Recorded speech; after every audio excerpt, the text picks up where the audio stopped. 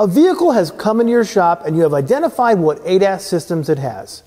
What's the next step? We're going to find out next in the AirPro Diagnostics Garage.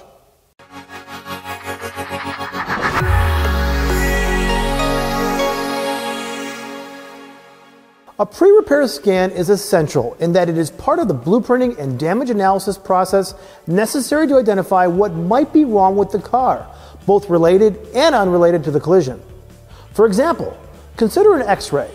You have been in an accident and are banged up and it hurts to move your arm.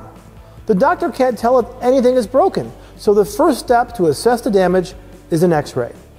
Some things to double check before you pre-scan the vehicle include is the steering wheel pointed straight ahead? Do you have access to dedicated Wi Fi? Do you have battery support on the vehicle?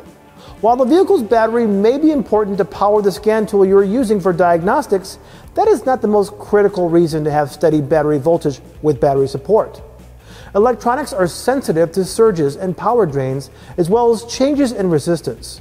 That's how they detect problems. When not enough power is present, not only are diagnostics of DTCs flawed during a pre-repair scan, post-repair scan, and even calibrations, but numerous additional codes can be set as a result of the low voltage condition.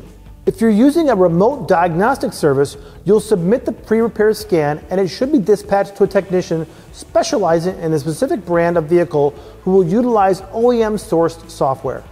The remote technician should provide clear communication about what needs to be done and the supporting OEM service information and position statements as necessary. During any diagnostic scan, there should be live data verification and DTC assessment to have a clear understanding of what the current status of the vehicle's electronics and ADAS systems are, as well as what needs to be repaired and calibrated on the vehicle. Take note, technicians should take into consideration all ADAS components in the vehicle. Having someone intimately familiar with the vehicle make and model will greatly assist the shop to be able to identify all the repairs that are actually needed to safely repair the vehicle.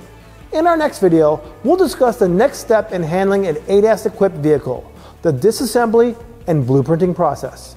I'm Jason Stahl. Thanks for watching.